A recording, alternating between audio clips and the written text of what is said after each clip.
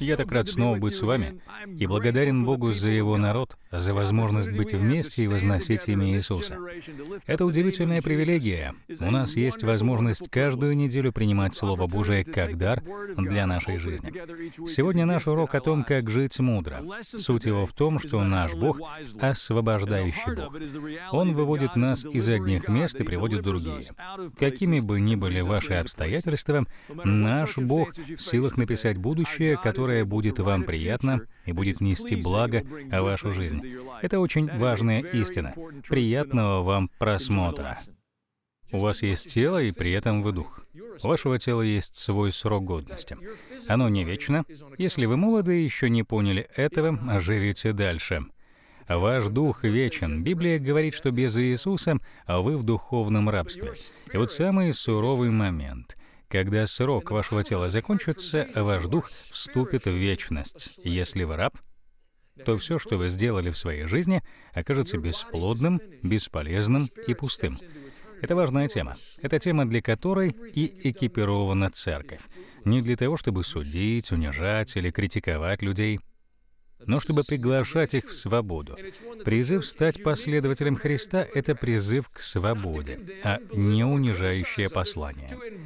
Римлянам 7 глава, 14 стих, там сказано, «Ибо мы знаем, что закон духовен, а я плотен, продан греху». Интересное сравнение, но оно не сразу нам понятно. В первом веке рабство было широко распространено в Римской империи.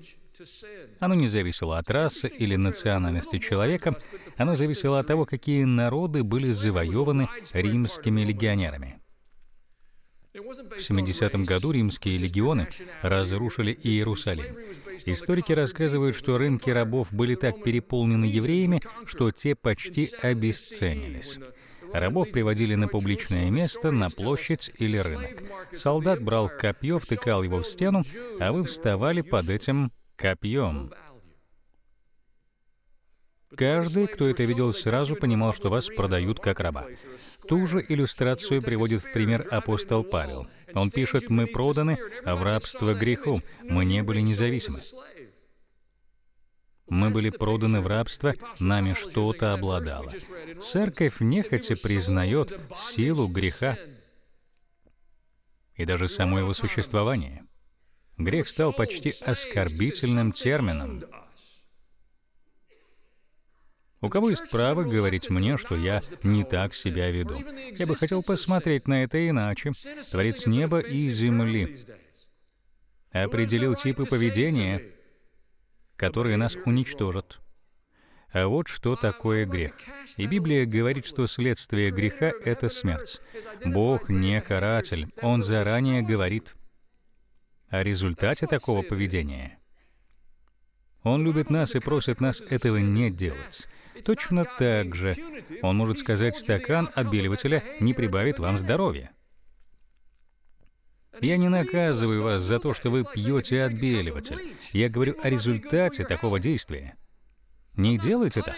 Мы были проданы в рабство греху. Если вы послушаете разговоры людей, вы услышите об этом? И сейчас в обществе идут споры, какой станет культура. Будет ли это библейский взгляд на мир?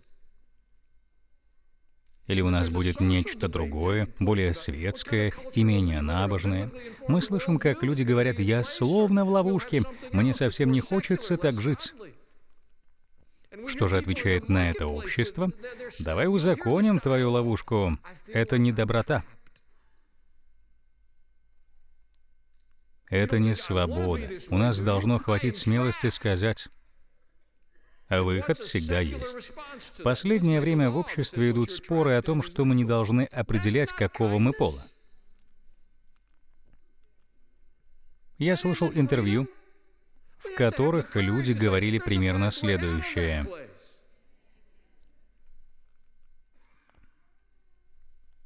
Каждое утро я встаю с разными ощущениями. Я не смеюсь над ними. Это настоящая пытка. Как вы сможете кем-то стать, развиваться и расти, если настолько запутались? Каждый день. Вы даже не знаете, как вписаться в мир, в котором живете. Это же рабство. Я говорю не с осуждением. Надежда есть. Мы попали в ловушку. Возможно, не именно в эту. Каждый из нас может честно признаться, что думал, будто вне Христа можно найти удовлетворение. Мы выбирали путь, который, по нашему мнению, принесет нам радость и удовлетворение. Возможно, это было повышение на работе, отношения, брак, ребенок, большой дом или другой бренд одежды, или еще одна ступенька на лестнице достижений, или еще одна ученая степень, а вы гнались за всем этим. Вы отдавали все время и силы. Вы получали это, заключали в свои объятия и вдруг понимали, что не нашли удовольствия. Вы не стали счастливым. Значит, я должен бежать быстрее, прыгать выше, еще раз сменить марку одежды, вступить в другие отношения — или в другой брак, пересесть на другую машину, вот тогда я буду счастлив. Это и есть рабство. Библия говорит, что нет никакого удовлетворения, никакой радости, никакого удовольствия вне Иисуса, вне Божьего взгляда. Мы рабы. Как церковь, мы не должны показывать на мир пальцем. Мы должны сказать сами себе, что мы хотим быть другими. В послании Галатам 4 главе 3 стихе сказано «Мы были порабощены вещественным началом мира». Новый Завет описывает мировой порядок, систему, которая противоположна целям Бога. Теперь еще одна деталь пазла. Откроем Евангелие от Иоанна, 8 главу. Иисус говорит здесь, «Ваш отец — дьявол, и вы хотите исполнять похоти отца вашего». Он был человека-убийца от начала и не устоял в истине, ибо нет в нем истины. Когда говорит он ложь, говорит свое, ибо он лжец и отец лжи. Мы не просто в рабстве, мы подчиняемся конкретному злу. Нами управляет что-то злое. Это значит, что оно не готовит вам ничего хорошего. Оно может обещать хорошее, чтобы управлять вашим поведением, но ничего хорошего оно вам не принесет. Зло по своему определению будет пользоваться вами. Зло будет эксплуатировать ваши самые уязвимые места. Библия говорит, что в вашем разуме идет битва.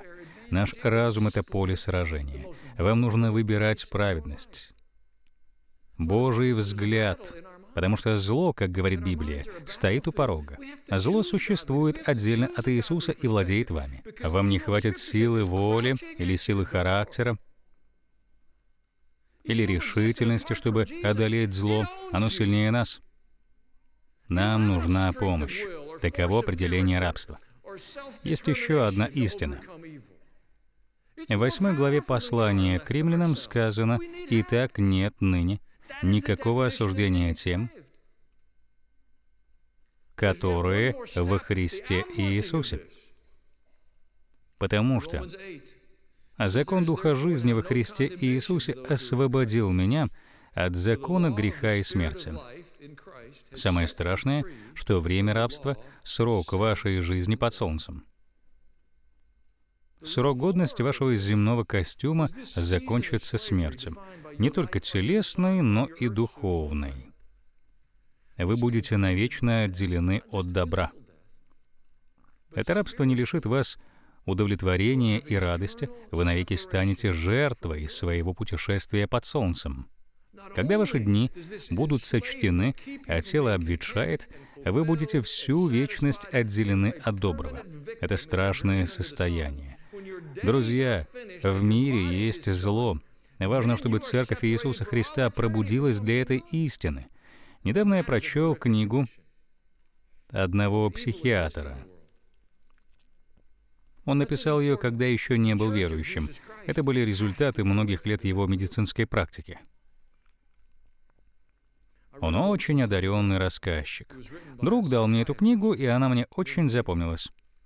После многих лет практики с отдельными людьми и целыми семьями светский психиатр, пришел к выводу, который и описал в своей книге. Он понял с медицинской точки зрения, что на планете Земля существует зло. Я не смеюсь над этим. Большинство из нас живет так, словно зла нету. Но меня заинтересовали формулировки этого психиатра. Он писал, что зло не являлось в каких-то страшных обличиях. Зло не приходило к нему с рогами и хвостом. Зло не источало запах серы. Он писал, зло приходило в самом обычном обличии, например, в виде наших соседей, и говорило совсем как мы. Только когда я прислушивался и анализировал, единственным клинически уместным термином было зло. И вот что меня впечатлило. Этот психиатр пришел к выводу, что зло подчиняется только большей силе или власти. Вы не сможете договориться со злом, не сможете заключить с ним сделку, не сможете одолеть зло более блестящим образованием, а зло найдет ваше слабое, уязвимое место и, нарушив все договоренности, будет вновь и вновь оказывать свое злое влияние. Для зла, которое противостоит человечеству, нет лучшего противодействия, чем сама Церковь Иисуса Христа.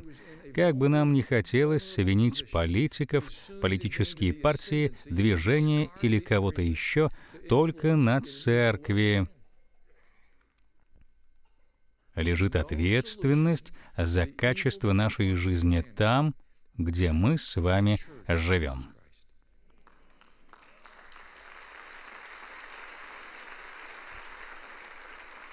Это не критика, это приглашение.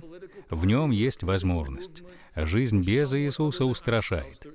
Давайте поговорим о том, какова жизнь вместе с Иисусом. История Иисуса — это великая история участия. Две тысячи лет назад на Елеонской горе Иисус плакал о людях, о тех, к которым Он пришел, но они не увидели в этом возможность. Он плакал о том, что их ожидало. Их не передадут некому новому хозяину. Он понимал, что то, что их поработило, уничтожит их. Однако Бог вмешался в лице Иисуса. И в послании к римлянам об этом четко говорится в первой главе 16 стихе. «Ибо я не стажусь благовествования Христова, потому что оно есть сила Божия к спасению всякому верующему, во-первых, иудею, потом и елену. Удивительные слова. Мне нравится первая строчка. Павел пишет так. «Я не стыжусь благовествования». На библейских уроках мы хорошо усвоили. Когда Библия говорит «не бойтесь», проблема слушателей в том, что они боятся. Когда Павел пишет «я не стыжусь благовествования», Можете не сомневаться, что он обращается к группе людей, которая часто стыдится благовествования. Это вызывает у меня улыбку, потому что я должен признаться. За два тысячелетия мы не изменились. Невероятное давление культуры и общества заставляет нас стыдиться благовествования. Благовествование — это, проще говоря, хорошая новость об Иисусе из Назарета, о Его искуплении, о том, что Он умер на кресте, чтобы искупить проклятие греха и освободить нас от рабства. Это хорошая новость для каждого человека, независимо от его пола, расы, акцента и уровня образования. Для каждого. И я не стыжусь благовествования. И советую вам не стыдиться его. Нам нужна помощь. Мы все это знаем. Мы все чувствовали себя в ловушке. В ловушке поведения, прошлого, чувства вины или зла, которое коснулось нашей жизни. А мы оказались бессильным. Есть сила, которая поможет вам быть победителем. Она в Евангелии Иисуса Христа. Я не отрицаю другие виды силы, но величайшая сила, доступная людям, — это духовная сила. Колосинам 1.13, «избавившего нас от власти тьмы и введшего в царство возлюбленного Сына Своего, в котором мы имеем искупление кровью Его и прощение грехов. Он спас нас из царства тьмы». Это язык власти. Вне Иисуса мы в подчинении. Одна из характеристик нечистой силы в том, что она доминирует, манипулирует вами и запугивает вас. Бог никогда так не делает. Мы были под властью тьмы, но Бог нас избавил. Звучит как девиз отряда «Морские котики», но Бог намного сильнее. Сила Божия действует ради нас, чтобы спасти нас от власти тьмы и ввести нас в царство своего возлюбленного Сына. Царство, в которое нас приглашают, не свойственно доминирование. Это царство любви, но это не означает, что в нем все обнимаются. Писание ясно говорит, если Бог вас любит, Он вас и наказывает. Родители, которые не наказывают своих детей, не вполне их любят. Бог любит нас настолько, что наказывает нас. Я не говорю о ком-то всегда милом и пушистом. Когда Бог говорит «нет», это значит «нет». Если вы настаиваете, выбирая безбожие, ждите последствий. Милость и благодать Бога не всегда избавит вас от последствий, если вы упрямо отказываетесь Его слушаться. Не делайте этого. Не делайте. Не делайте. Мы были избавлены от власти тьмы. Мы искуплены. Искуплены значит куплены обратно. Для нас сделали то, что мы не могли сделать сами. Христиане не выиграли это право. Мы не были лучше остальных, мы не были выше морально или исключительно этичны, мы были искуплены. Для нас сделали то, что мы не могли сделать сами, поэтому мы рассказываем другим людям об Иисусе. Он сделает это и для вас также. Качество нашей жизни, семьи, дома, нашего опыта зависит не только от нас. Есть сила, которая нам поможет. Аллилуйя! Церковь забывает об этом. Мы отвлекаемся на другие вещи.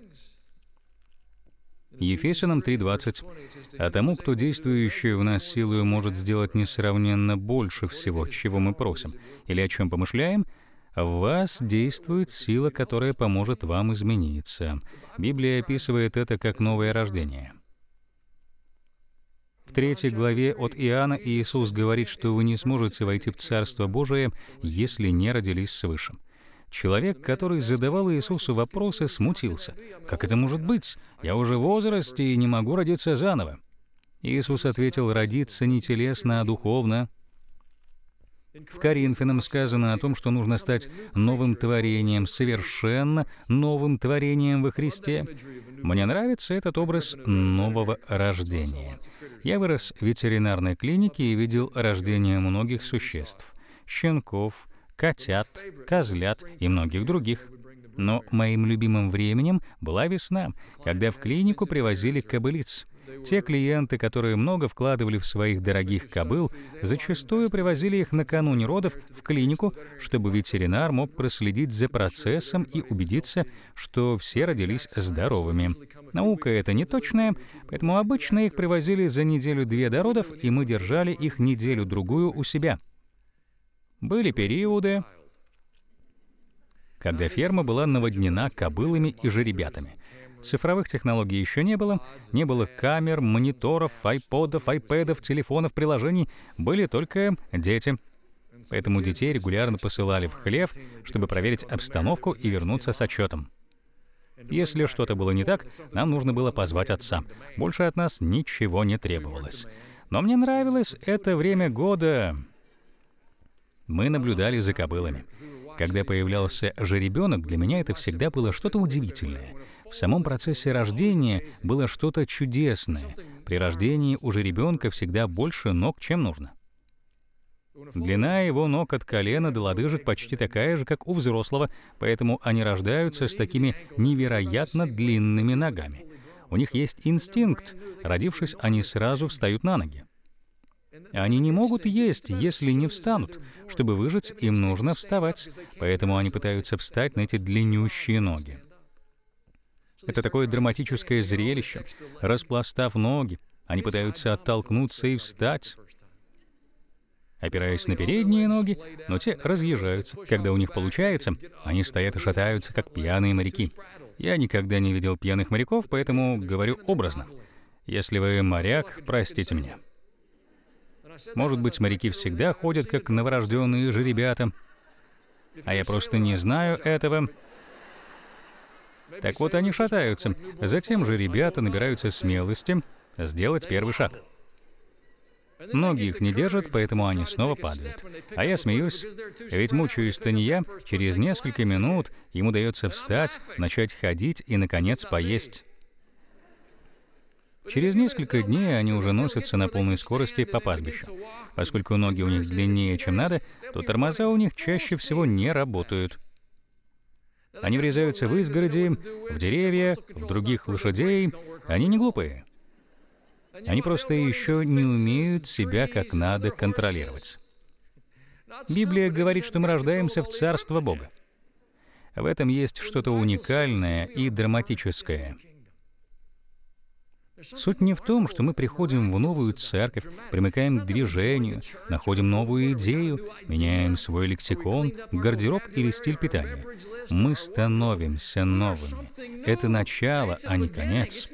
Одно из заблуждений нашей веры в том, что мы можем прочитать короткую молитву, а затем продолжать жить по-своему. Но мы не можем оставаться прежними. Мы в процессе перемен. Внутри нас действует сила. Она поможет нам измениться. Бог по своей милости сделал этот процесс постепенным, чтобы мы так же, как растем, росли и духовно тоже. Пришло время расти. Внутри нас действует сила. Давайте поговорим о крещении. Почему мы о нем говорим и почему проводим? В третьей главе первого послания Петра есть длинный отрывок — я расскажу основные мысли. Апостол пишет о водном крещении, вспоминая Ноя. Бог спас Ноя и его семью на ковчеге по воде. Также Бог спасает нас с вами через крещение. Петр проводит параллель между водой потопа и водой крещения. 21 стих. «Так и нас, ныне подобные всему образу крещения, не плотской нечистоты омытия, но обещание Богу доброй совести спасает воскресением Иисуса Христа. В крещении Бог что-то делает для вас. Это не мы делаем что-то для Бога. Надо окунуться в бассейн, раз уж все хорошие люди это делают. Вероятно, я был плохим, так что теперь моя очередь. А хорошие люди на меня посмотрят и сфотографируйте меня. Наш энтузиазм выглядит примерно так же, когда мы не видим приглашения. История Ноя — это не история о его умении планировать и прокладывать путь. История Ноя — это история спасения. Без Божьего вмешательства — Божьего участия и Божьего направления, Ной и его семья погибли бы. Но Бог позаботился, когда Ной решил взаимодействовать. Он послушался и был спасен. Бог позаботился о нас с вами, не осуждая, не критикуя нас. Он вручил нам приглашение, чтобы мы могли обрести спасение. Не упустите его. Не упустите его. Наш Бог — освобождающий Бог. Это центральная тема Писания как Ветхого, так и Нового Завета, где сказано об Иисусе и истории искупления. Бог по сей день освобождает людей на земле. Какими бы ни были ваши обстоятельства и трудности, наш Бог силен и верен. Ему можно доверять. Освобождение характеризует две черты. Это Божья забота о нашей жизни, и это Его сила вывести нас из трудностей. Бог силен это сделать. Он также позаботится о вашем будущем. Доверьтесь Ему. Это прекрасное обещание. Хочу помолиться с вами не только о вере в освобождение, но и о победе над страхом. Давайте от него избавимся. Отец, мы приходим во имя Иисуса и отрекаемся от духа страха. Ему нет в нас места, и у него нет над нами власти. Во имя Иисуса. Спасибо, что даешь нам сильный разум и смелость смотреть вперед. Ты Бог, который освобождает, восстанавливает и обновляет. Благодарим Тебя за Твою заботу во имя Иисуса. Аминь. Смотрите каждую неделю нашу программу с пастором Аланом Джексоном, а также заходите на наш веб-сайт, где вы можете найти прекрасные ресурсы, которые помогут вам подняться на новый уровень вашей христианской жизни. Мы также просим вас подумать о том, чтобы поддержать нас в распространении этого послания по всему миру. Это будет возможно только с вашей помощью. Поэтому подумайте о том, чтобы стать нашим партнером. И если вы окажетесь в наших краях, мы будем очень рады вас видеть в церкви World Outreach в Мёрфисборо. А также вы можете ежедневно быть на связи с пастором Аланом Джексоном в соцсетях. Спасибо, что вы с нами и что являетесь частью этого служения. До скорой встречи в нашей программе с пастором Аланом Джексоном.